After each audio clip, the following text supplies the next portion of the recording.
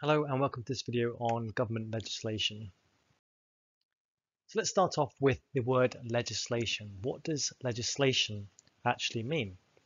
Well, if we were to look it up online, we would see that it's the act of making or enacting laws. So what we're talking about here is laws that are created by the government or by some other uh, political organization, for example, the EU, that impact upon um, businesses.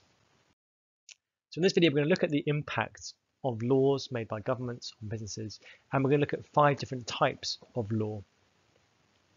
Let's start off with consumer protection law. And as you can see on the right hand side, this is really to stop consumers from getting screwed.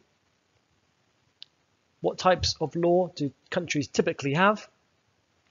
Well, they typically have types of law that protect consumer from firms with regards to the quality of goods or services sold.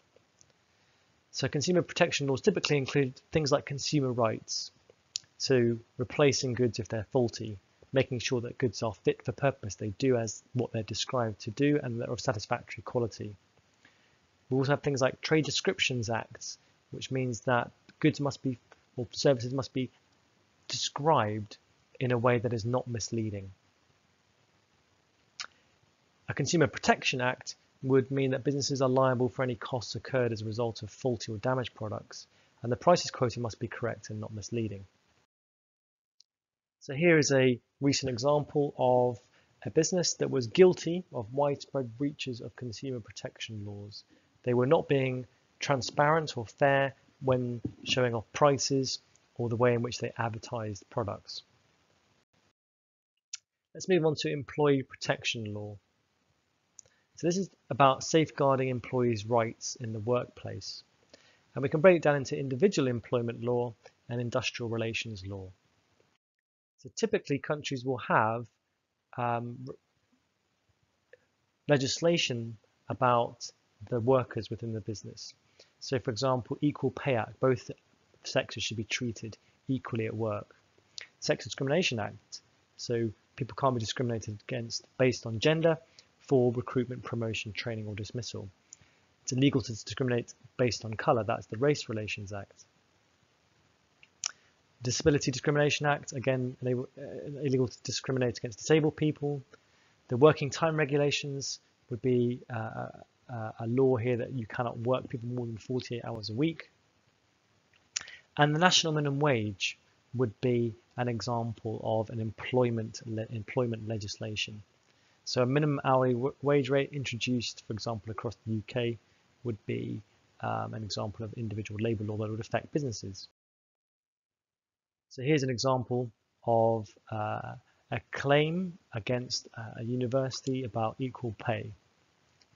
And here's another one at a up against the local council, again about not paying different genders the same amount of money. Industrial relations law is to do with trade unions.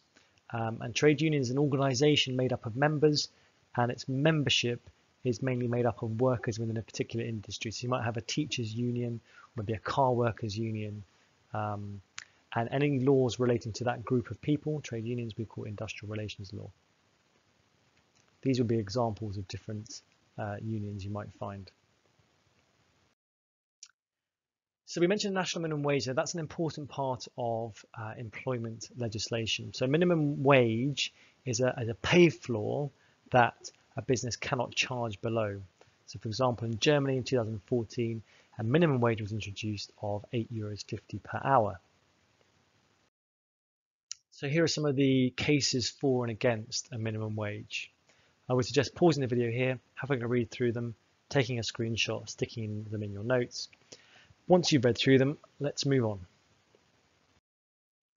So environmental protection law is another type of uh, legislation that can affect businesses. And this ensures that firms don't have a negative impact on the environment. Again, here are some examples. Environment Protection Act and Environment Act will have effects on businesses. Here's another recent story of a, a business that fell foul of environmental regulations. So we've looked at the first three so far, consumer protection, employee protection, environmental protection. We're now going to move on to competition policy. So competition policy is quite significant for businesses, can affect them quite significantly. So both UK and European competition law prevent, prohibit agreements, arrangements and business practices which prevent, restrict or distort competition or have the intention of doing so. An example would be price fixing. So businesses are not allowed to collude with each other and work together to try and charge a high price for to customers. So you're not allowed to agree prices with competitors or divide or share up markets. For example, I'll take the north of the city and the other business takes the south of the city. You're not allowed to work with a competitor to determine what prices you'll pay your suppliers.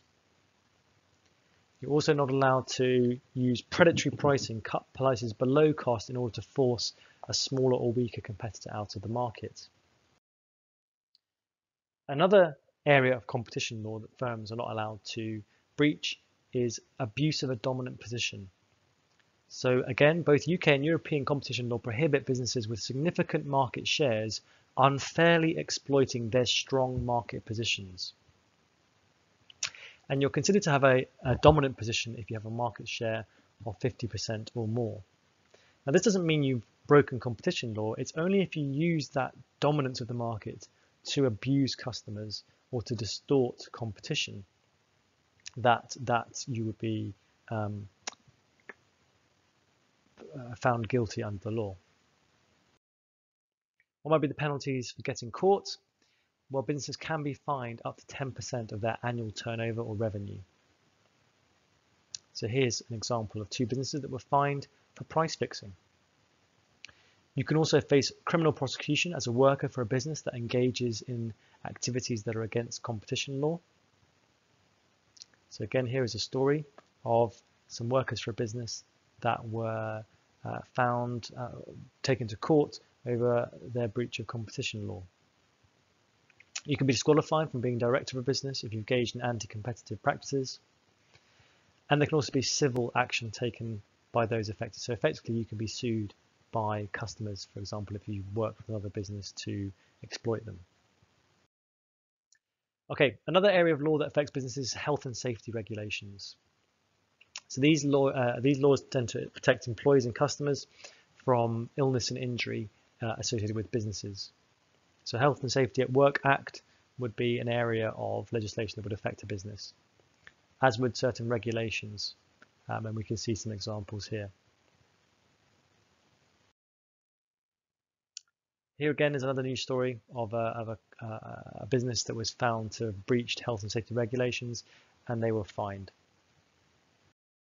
So in this, business, uh, in this video, we've looked at the impact of legislation laws set by governments on businesses. And we looked at a number of different areas of legislation that can affect businesses. Consumer protection legislation, employee protection legislation, environmental legislation, importantly competition policy, and then at the end health and safety legislation. That's it. Thank you very much for listening.